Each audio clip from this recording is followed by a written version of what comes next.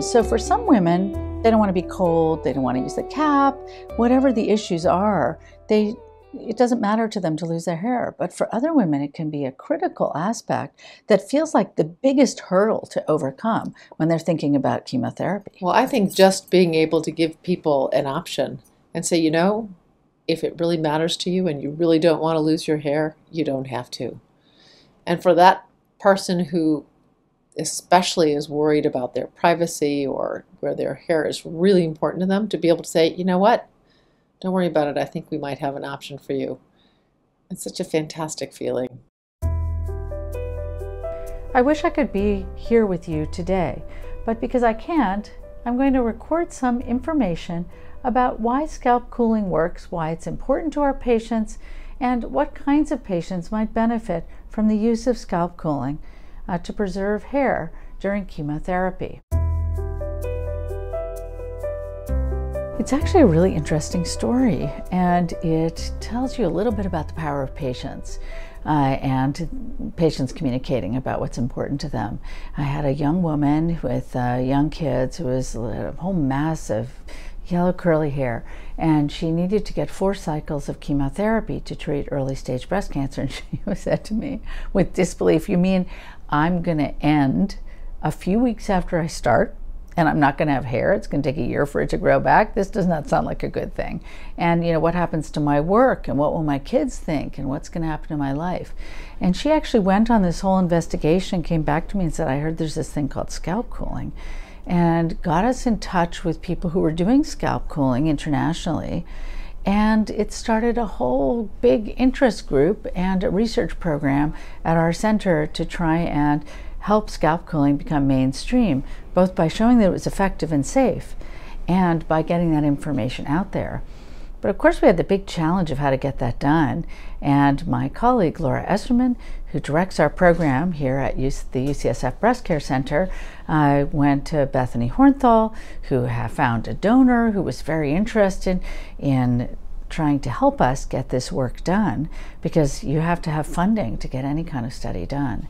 And through the Laszlo Tauber Foundation and Bethany's help, we were able to do conduct a series of two different trials leading to the first FDA clearance of a scalp cooling device. At the end of our trial with our five institutions, we were able to show that most women kept most of their hair. Almost 70% of women treated on the trial with different chemotherapy regimens that didn't include a drug called anthracyclines kept most of their hair and they were very pleased with the results in general, and they tolerated the scalp cooling well in general. And based on the results of that trial, the FDA cleared the DigniCap machine as an acceptable method for cooling the scalp in order to preserve hair in women receiving chemotherapy for breast cancer. One of the biggest issues is will I lose my hair? It's an interesting thing. It's huge because it is such an outward expression of illness. So, without you ever telling anybody, people know something's going on. Something's not right. You must be getting chemotherapy. Are you sick? Could you be dying?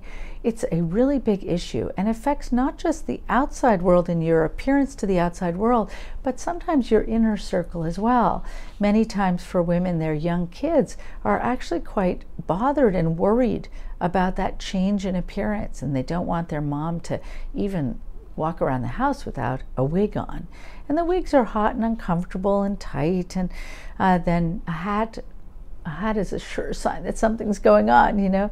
Uh, so I, I think that for women it can affect their psychological health in a big way. And, you know, sometimes we hear of women who are sort of balancing uh, the benefits of chemotherapy against the evils of losing their hair.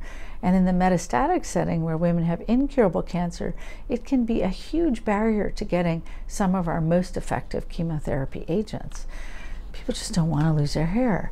So, scalp cooling has been a, a way of maintaining control during a period of time where women have very little control. They didn't choose to get cancer. Most of the time, there's nothing they could have done to prevent it, uh, but they have to deal with it. And they're offered treatment choices that uh, where the treatment can sometimes, in some situations, play a very big role in helping them to have the best chance of being cured of their cancer or to live longer and to have better quality of life. But they can't control what happens to them during that chemotherapy. Using scalp cooling gives them that measure of control and a way of, if it's successful, maintaining their sort of normal appearance to the outside world. So even if you tell people you're getting chemotherapy, you look pretty good. Even if you don't feel good, you look pretty good. And that makes a big difference to women. So, one of the questions that uh, people always ask me is how does scalp cooling work? And it's actually probably a couple of different ways. Uh, and of course, it was trial and error when it started. But if you cool down the hair follicles, their metabolism slows down, so they may be less sensitive to the toxic cell killing effects of chemotherapy. And then the second thing, of course, is a much more simplistic uh, mechanism, which is that by simple cooling of the scalp, you cause vasoconstriction, or the blood vessels actually get narrower, and you deliver less blood to the hair follicles and therefore less chemotherapy. So it's probably both of those mechanisms together that when you're getting the chemotherapy and you have the highest concentrations, you're delivering the least amount to the hair follicles, and the hair follicles are the least sensitive by being less active because of the cooling. So there are different uh, types of ways that you can cool the scalp. Um, the there's one way where you actually take this uh, material that can be that's insulated and can be frozen, and it's a flat, um, soft material, and you freeze it uh, to be very cold, and then you shape it to the head. Put an insulating cap on top of it, and then uh, that starts the cooling period. Over 20 to 30 minutes, that uh, cap that you shape to your head will actually warm up. And so then you change the cap after 30 minutes. And those are manual methods of scalp cooling. So you rent a whole bunch of caps so that you have enough to get you through all of the pre cooling, about a half an hour, during the chemotherapy infusion, and then for a couple of hours afterwards. So that's called manual scalp cooling. You need a freezer or dry ice, and you need a cooler to bring in. And you need somebody to change the cap for you. The uh, automated or uh, types of scalp cooling methods uh, include a machine that has a coolant that uh, actually circulates through a cap that looks like a swimming cap. So there's a long tube and then a swimming cap there, for some of the machine, one type, there's a temperature monitor, several of them in the front and back of the cap, and others have a single temperature monitor. And then you put the cap on the head, and then again, you put an insulating cap on top to keep the temperature at a, a stable temperature that you want to get, you know, keep the cap at a stable temperature that you uh, uh, trying to achieve. That doesn't require any effort on the part of the patient uh, because the device is placed, you leave the device on, uh, and then when you're done, you unhook it and go home. You don't bring anything home with you. So for breast cancer, we use a number of different chemotherapy regimens depending on the type of cancer you have and how much cancer you have.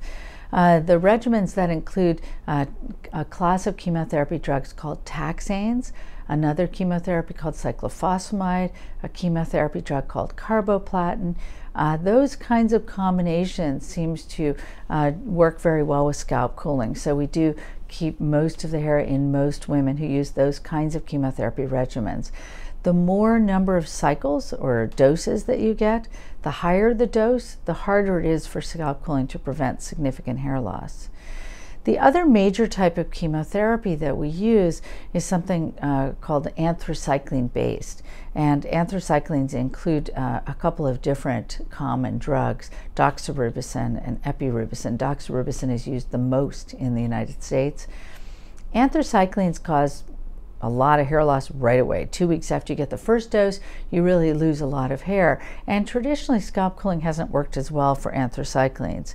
We've had a number of women who used scalp cooling with, uh, while they were getting anthracycline based chemotherapy and kept a lot of their hair, some, most of their hair. So clearly, scalp cooling can be effective, but it's effective in a much smaller percentage of women than non anthracycline based chemotherapy regimens. There's certainly been a long-standing concern that potentially by using the scalp cooling that you decrease the amount of blood delivered to the scalp and therefore you decrease the amount of chemotherapy delivered to the scalp, that the scalp could then be a reservoir or a protected place where cancer cells could grow and that that could result in incurable cancer. And that's the, if cancer cells grow in the scalp, it's called scalp metastases. But actually, we've done a lot of work to show that uh, one, uh, it's incredibly uncommon to have scalp metastases for breast cancer and most solid tumors. Uh, two, it's very rare to have scalp metastases as the only presentation of recurrent cancer. Usually you have cancer other, other places in the body and the scalp metastases come at that time or even later. Uh, and then three, we've looked at women who've used scalp cooling versus those who haven't. And my colleagues around the world have published data showing that there doesn't seem to be any increased risk of scalp metastases and that survival is the same if you use scalp cooling versus you don't use scalp cooling. So it really has made me very secure that scalp cooling is a safe, technique and technology to use that doesn't increase the risk of cancer recurring for women with breast cancer. So we have scalp cooling, and I think that we've worked hard to bring scalp cooling into the mainstream where it most definitely is now.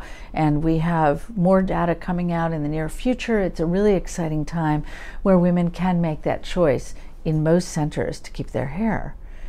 But it costs money. And that's been a big issue. You know, we, we always look to insurance companies to uh, cover the cost of uh, the drugs we receive, the chemotherapy treatment, the surgery, the imaging, the x rays we get. But for supportive care, it can be harder. And for hair loss, uh, which isn't a part of surviving breast cancer but makes it a whole lot easier, insurance companies haven't yet kicked in to cover or to offset the cost of scalp cooling. So for some women, that cost can be out of reach. Now, or the way scalp cooling is generally billed is you either rent the caps when you use the manual method or you rent time on the machine. So per treatment costs a certain amount.